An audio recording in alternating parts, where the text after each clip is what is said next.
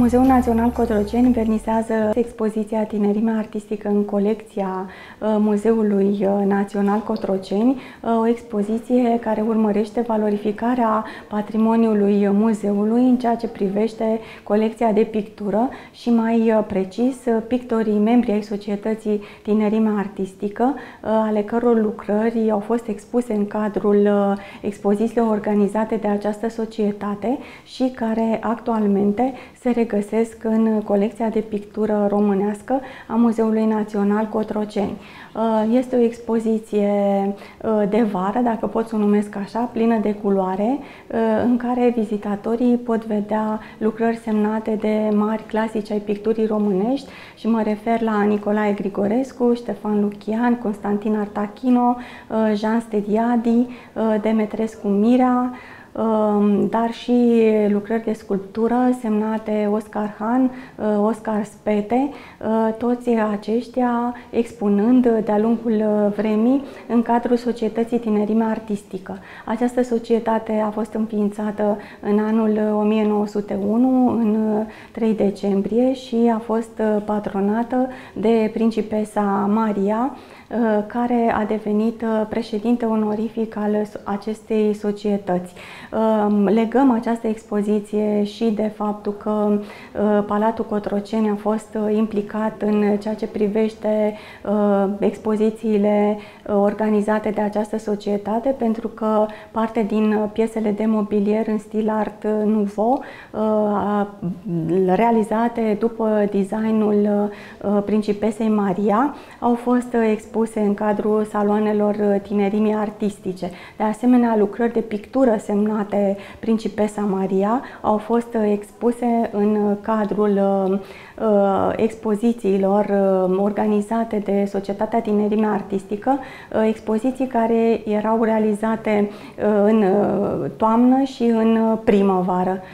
Așadar, principesa Maria era nelipsită, a fost un adevărat mecena pentru această societate notate, iar noutatea pe care Societatea Tinerime Artistică a adus-o în pictura românească sau uh, membrii pictori ai acestei societăți uh, a fost o emulație în ceea ce privește peisajul artistic românesc, uh, ei dorindu-și să se înscrie în noile curente europene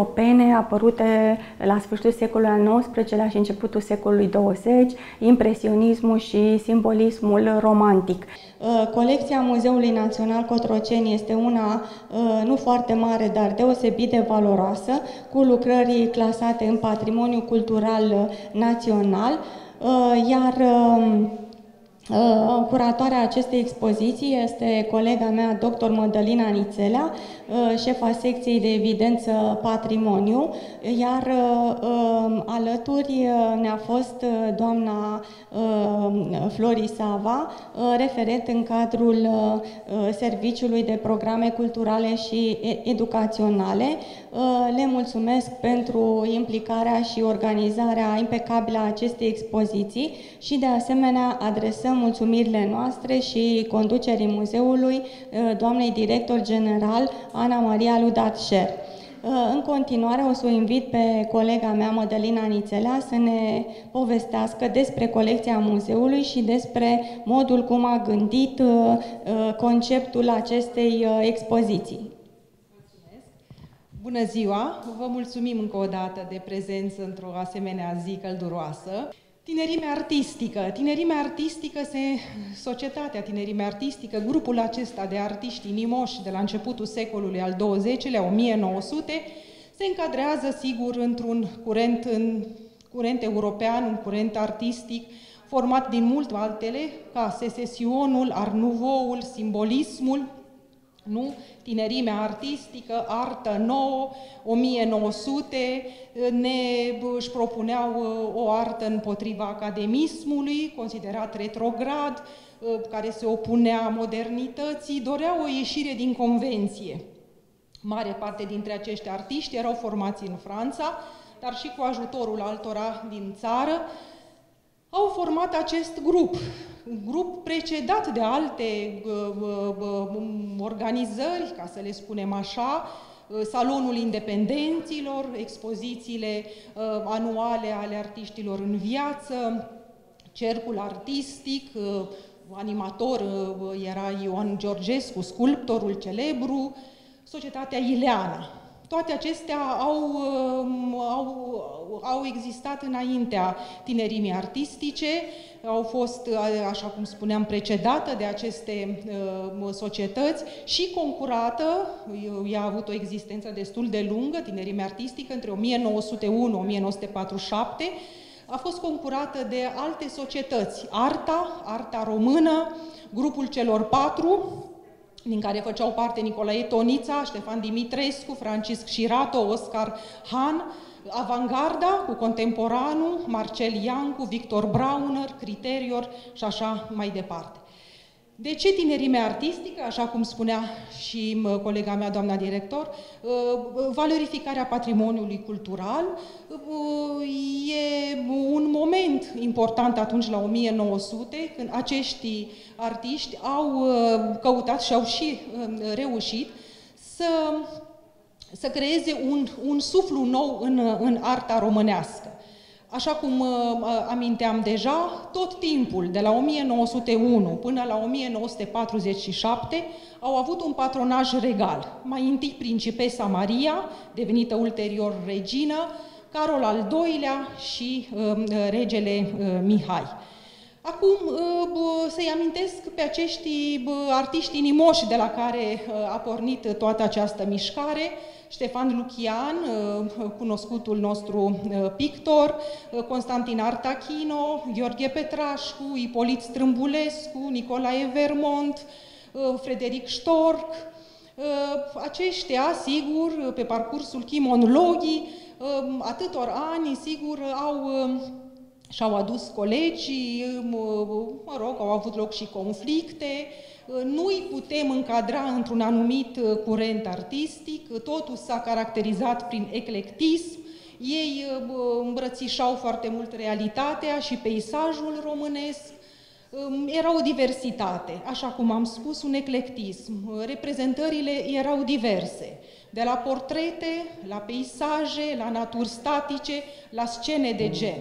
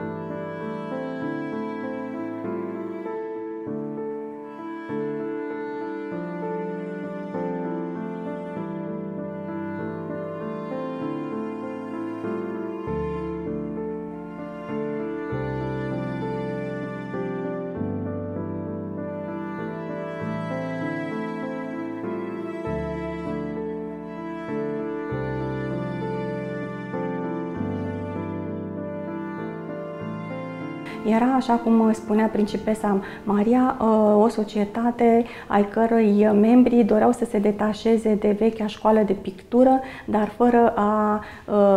își lua libertății peste măsură. Așadar, Societatea Tinerimea Artistică a activat până în 1947, după moartea reginei Maria în 1938, fiind pusă sub patronajul regelui Carol al II-lea și mai apoi a regelui Mihai. Epoca de gloria a societății, a activității Societății Tinerimea Artistică a fost uh, până în preajma primului război mondial, în perioada interbelică, um, expozițiile um, și activitatea Societății Tinerimea Artistică uh, scăzând în intensitate și fiind mult mai moderată. Uh, noutatea pe care Societatea Tinerimea Artistică a adus-o a fost